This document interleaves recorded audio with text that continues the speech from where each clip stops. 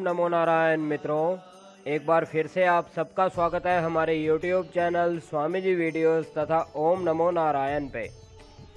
मित्रों, आज की हमारी यह वीडियो खास उन लोगों के लिए बनाई गई है, जो मेहनत तो खुद से भी ज़्यादा करते हैं, या फिर ऐसे लोग हैं जो हर काम बहुत ही आसानी से कर लेते हैं। लेकिन आखिरी में आते आते उनका काम बिगड़ जाता है और उन्हें किसी भी कार्य में सफलता प्राप्त नहीं होती। या फिर कई लोगों के कार्य बनते ही नहीं हैं। तो उनके लिए आज यह वीडियो आपके सामने लेकर आए हैं।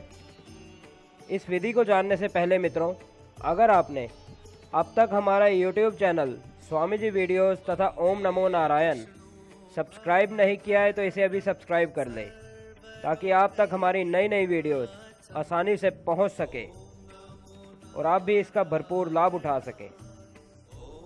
तो मित्रों, ये है वो यंत्र जो आपने कागज़ पर बनाना है। कहीं से आपको कुछ भी सामान लाने की ज़रूरत नहीं, सिर्फ़ कागज़ पे, सफ़ेद कागज़ पे इस यंत्र को बनाएँ। हिंदी और इंग्लिश दोनों में दिया गया है।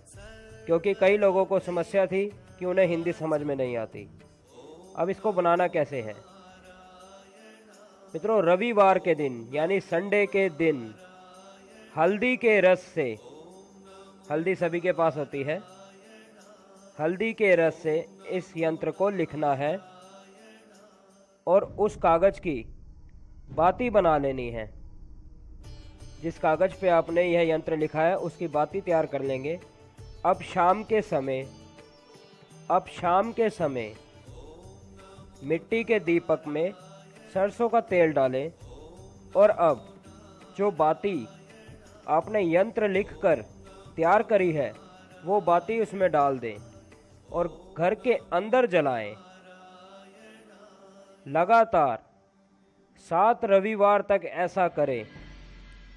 देखिएगा मित्रों सभी दुखों का निवारण होगा। चाहे आपको किसी भी प्रकार की समस्या क्यों ना हो, सभी का अंत होगा और हर कार्य में सिद्धि मिलेगी, सफलता मिलेगी।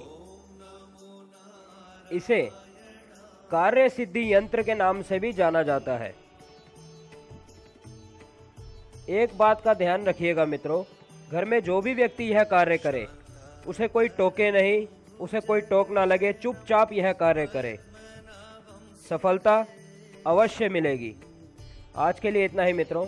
स्वामी जी द्वारा किसी भी प्रकार की मुफ़्त सलाह के लिए सिर्फ़ शनिवार को सुबह 10 बजे से शाम को 4 बजे तक स्क्रीन पर दिए गए नंबर पर फ़ोन करें। इसी प्रकार की ज्ञानवर्धक वीडियोस देखते रहने के लिए हमारे YouTube channel Swami ji videos तथा ओम नमो नारायण से जुड़े रहने के लिए अभी इस फ़ोटो को दबाएँ और सब्सक्राइब करें। धन्यवाद मित्रों। ओम नमो नारायण।